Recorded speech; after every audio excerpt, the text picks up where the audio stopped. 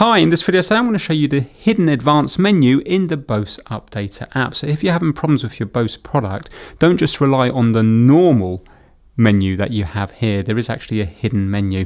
So I'm going to plug in the device here via USB. The Bose Updater app, you can Google it, but if you go to btu.bose.com and then you can download it. If you have a look here, it says this, this product is up to date. But if we hit a selection of keys, we can get into a hidden little menu. So check this out. The keys we need are A, D, V, and then up and down.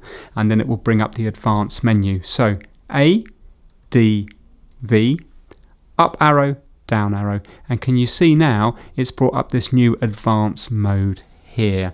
So if you're having problems with your Bose product, maybe try this and you might be able to force through the update. Even though this is already up to date, you can see here it gives me an option to update now. And it's what fixed my Bose little speaker here. So that menu might fix your Bose product as well. Thanks for watching.